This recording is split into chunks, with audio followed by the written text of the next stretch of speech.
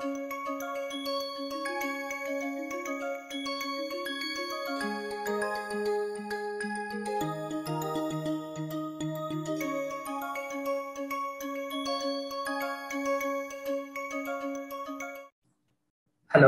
welcome to NPTEL Rural Water Resource Management course, week 4, lecture 3.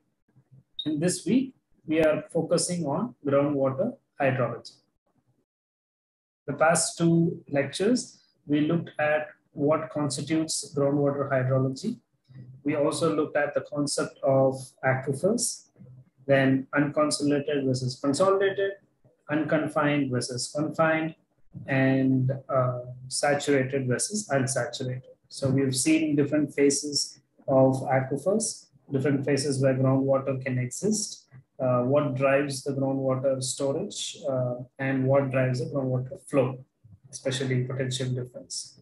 So in the following lectures, uh, we would like to see how groundwater is recharged and then discharged or pumped out, used, etc. So now you have a better idea of managing the groundwater resource uh, if we know about the recharge and discharge. Let's start with groundwater recharge. So the recharge area, which you see on the top of the land, uh, is going to be the predominant where you have water coming in. Okay, yeah, water comes through streams and rivers, but it's much less compared to precipitation induced groundwater recharge. So again, visualize yourself as a water droplet. You will come, infiltrate, and then get into the first unsaturated, then saturated zone. Once you get it to the saturated zone and you have a confining bed, it becomes an unconfined aquifer.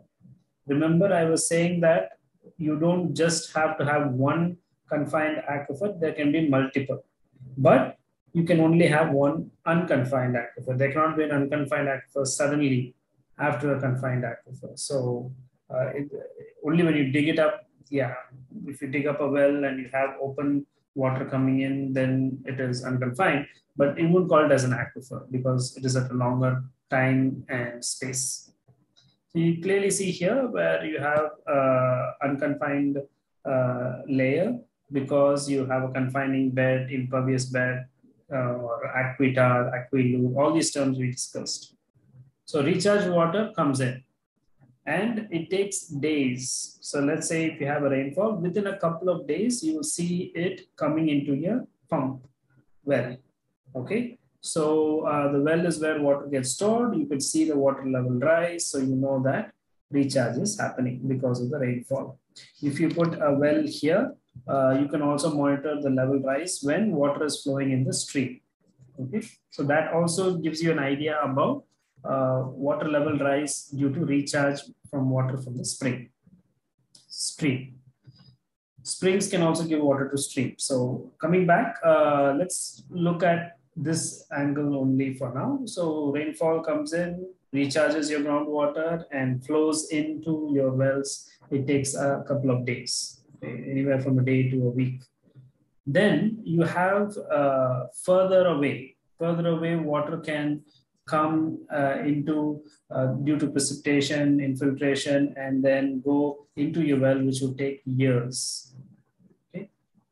Depending where your aquifer is stored, depending where the point of water access is there, the water would have to move a long term, okay, long term and distance. And groundwater flow is very, very slow. So please look at this. Because it is slow, it would take years. And why is it slow? Because there's a lot of obstacles on the way. The solid materials are there. So water has to go uh, around it, connected through another pore, those kind of things. And if there's already water, it's less uh, with high potential, I'm saying, then water movements are balanced out.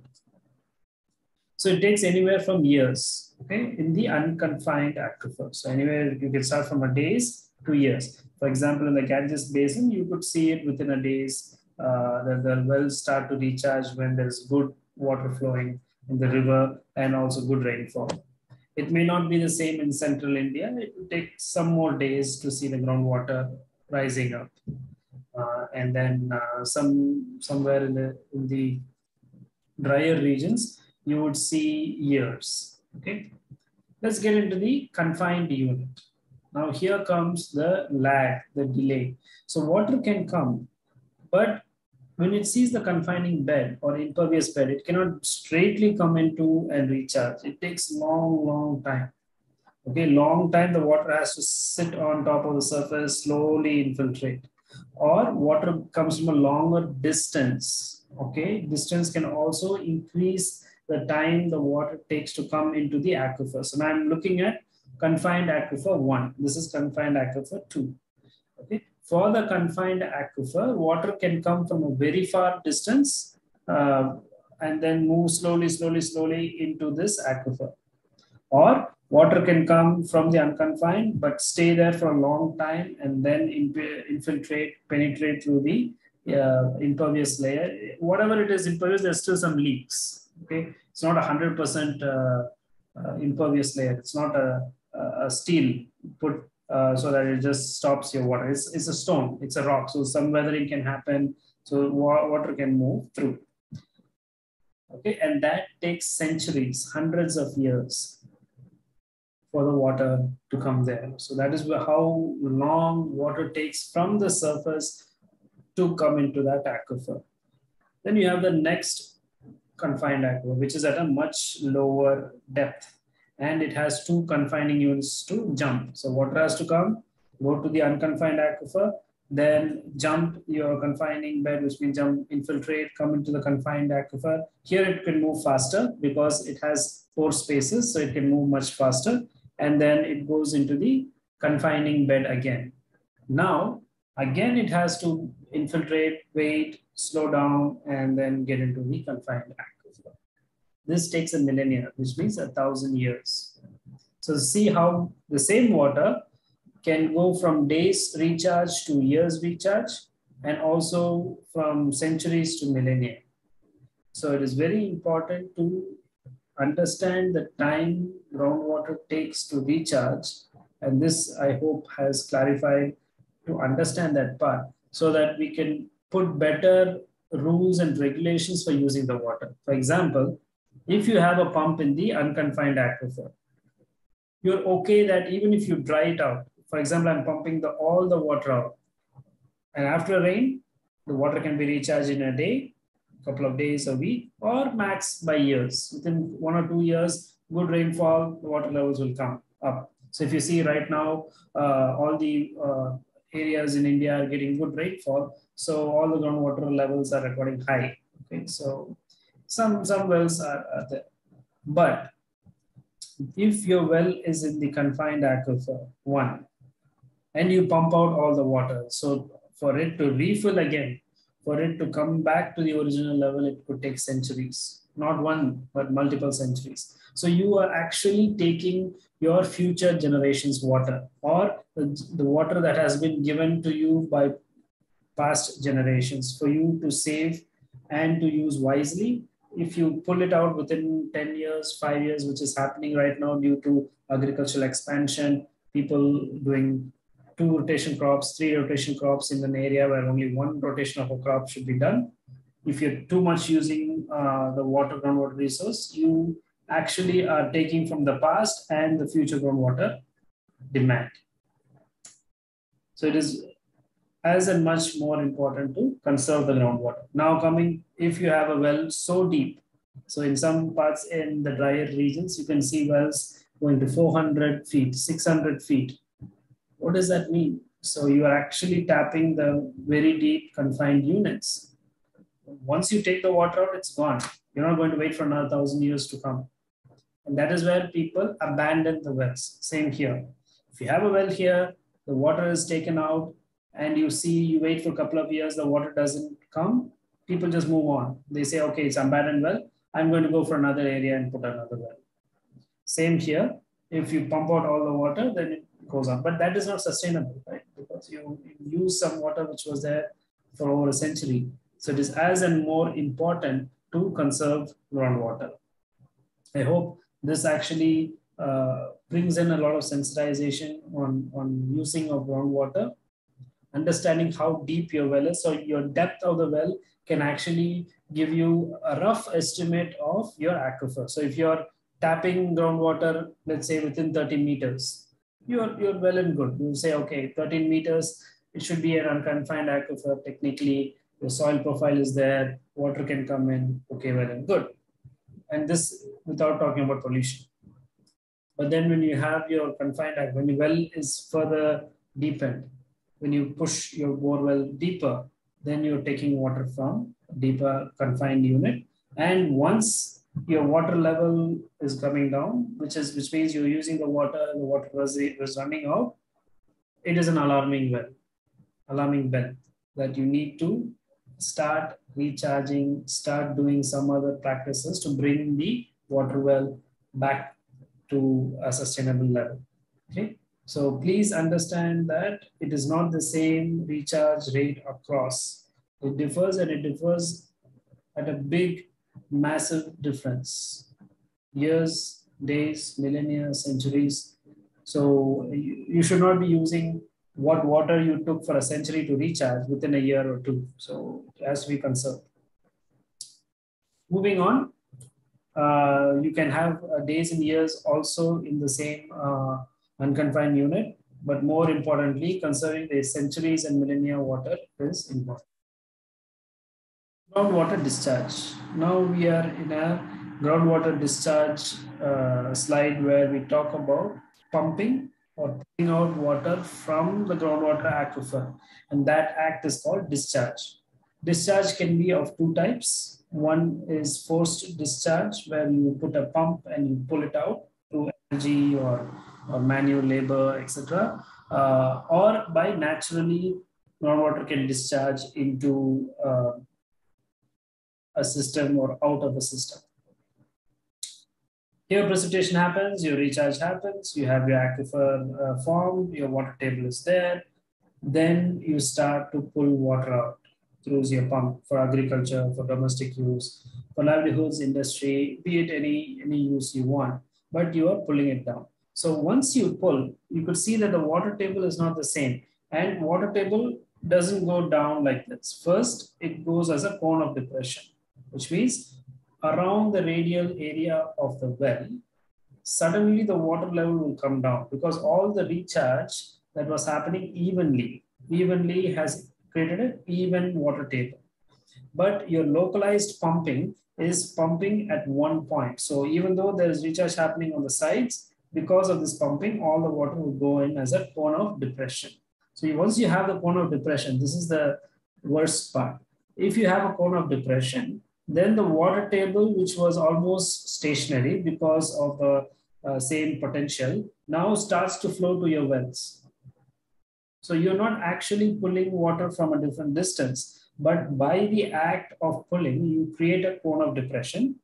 And once you create a cone of depression, there is a potential difference between this water table and the water table here. So the water table here and the cone of depression here, there is a potential difference, high potential, low potential.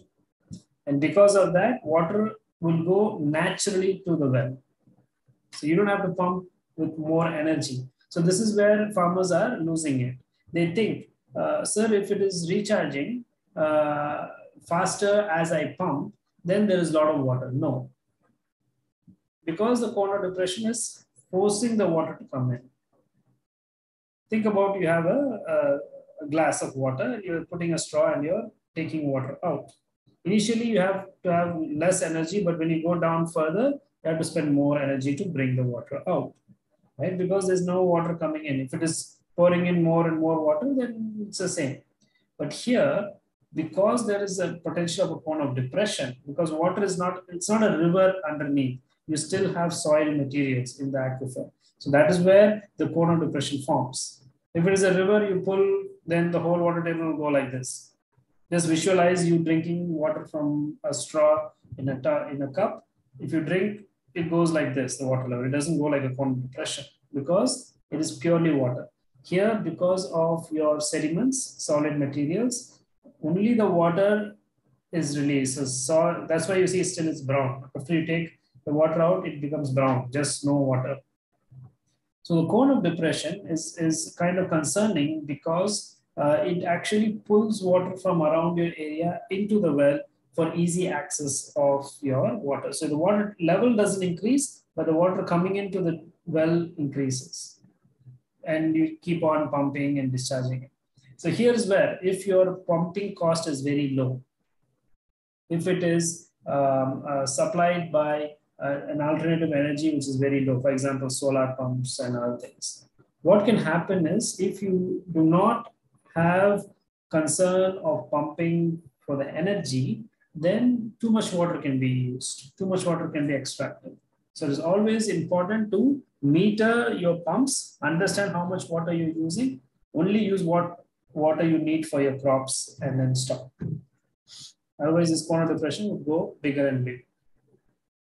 Another groundwater discharge uh, diagram. Uh, again, you can pull water from your groundwater aquifer and also you could reverse the sign of your stream network. So initially the stream was getting groundwater from here. So it was a gaining stream. But because you're pulling and because of the cone of depression, you have been pulling the water from the stream, which is a surface body, into the ground. Then it becomes a groundwater and then back into the well. So the well is now pumping it out. Okay. So the groundwater flow diagram is given. Infiltration happens. Uh, leave the contamination that's not for this course. Uh, but evaporation losses, etc., etc. water comes in, goes into your pump because of your pumping. And then you have a cone of depression, and because of that depression, a high potential, low potential gradient is formed, uh, and the volume of water is now pulled. So where does the water quality come into the picture? Because if you have a contaminated source, for example, a landfill, uh, or uh, a septic tank which is broken and a lot of uh, waste, uh, solid waste is here. And it is standing there because of the high water potential. But when you pump too much and the cone of depression is formed, then you actually start pulling the contaminated water, which was initially not moving. So it is always important not to put uh, groundwater wells near contaminated sites, sewage lines, uh, and then over pump it. So if you over pump it, the cone of depression forms. And even though the polluted water did not want to move initially, because of this cone of depression, it starts to move. Then you have an influence recharge and influence discharge. So what we saw in the initial stage is if you just pump and the water table comes down, there is no influenced discharge. But when a cone of depression is formed, there is a influence discharge. So water level after pumping um, uh, is here. It recovers. So water recovers, but still the cone of depression is there. Uh, and your initial water level was here, but because you pulled water out, you could see. So now let's take two wells uh, in tandem. And this is where the well monitoring I was talking about of representativeness, etc., etc. So you have a well here. Let's call it well A and then well B. Well A is used for your irrigation, for applying water to the crops. So you put a pump, you pump the water out and you apply the water. Okay. Uh, and then what happens? The water falls on the surface and you're irrigating, but meanwhile, you are creating a cone of depression. There is a well B, which is a little bit farther away and no pumping is happening. There is no pumping here. Okay. So what happens? Watch closely that when you're pumping in well A, the cone of depression is formed and the actual water level from, from your well B is falling. So now visualize this as two farmers. This farmer is an ethical farmer who says, no, I don't want to grow uh, crops in the summer because there was not a good rainfall. I'm not going to use groundwater. But this greedy farmer says, no, I want to use groundwater, all the groundwater and then grow. He, she is not only using their groundwater, but also the water level from here. So even though this farmer, farmer B, did not put a groundwater pump and use the water, his, her water levels is also coming down. So here's where a communal source, a water which was uh, for the community, for general public, has become one person's property because they put in a pump, they did not talk to others, they start sucking all the water out causing the of depression.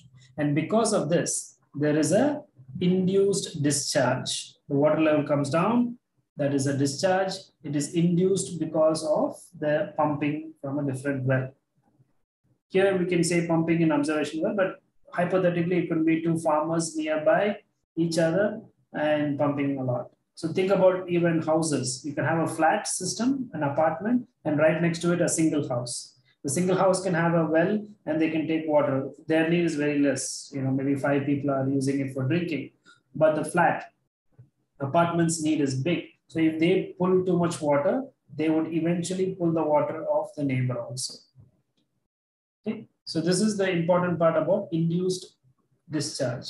What could be the induced recharge? Same as you have water discharge being induced because of the pumping. If there is a recharge happening here, it would recharge more here because of the cone of depression.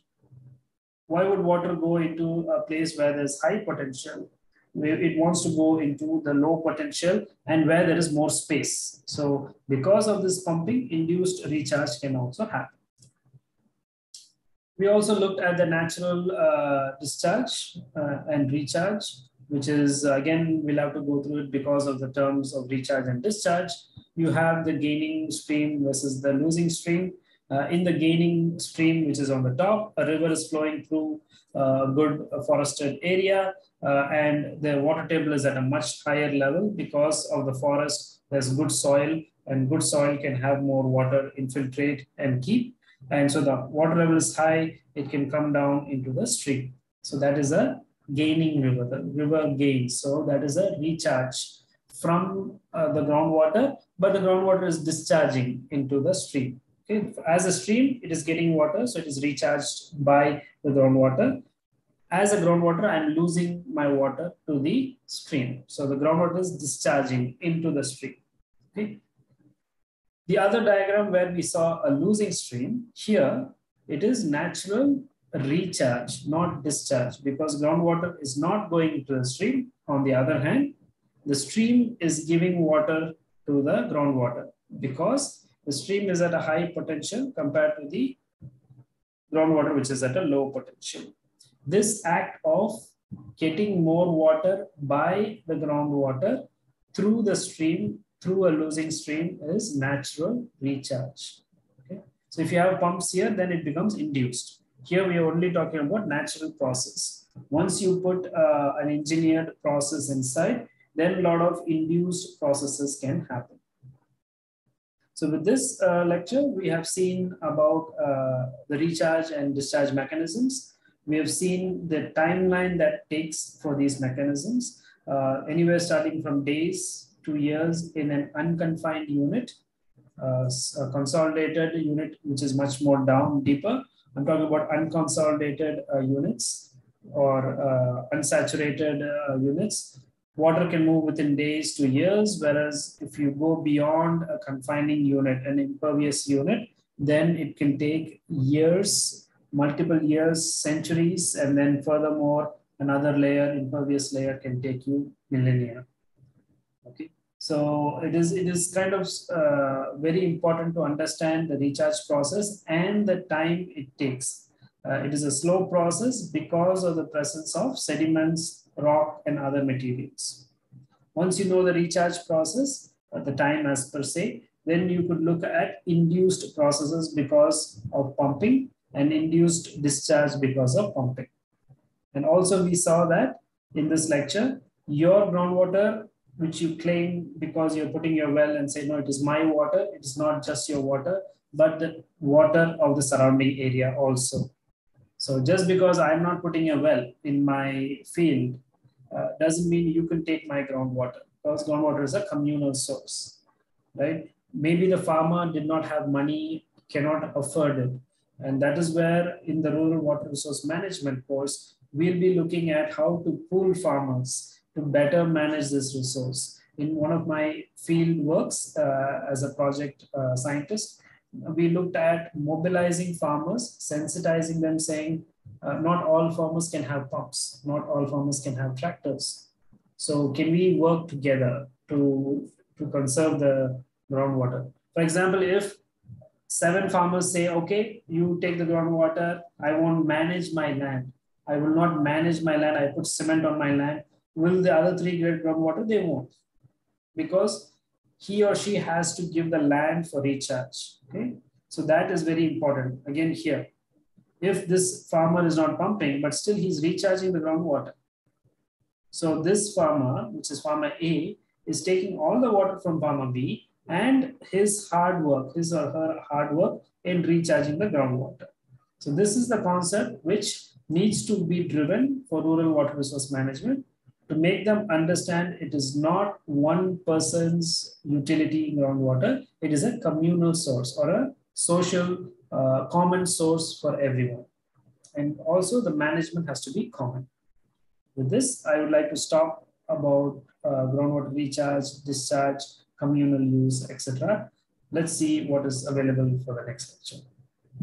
Thank you.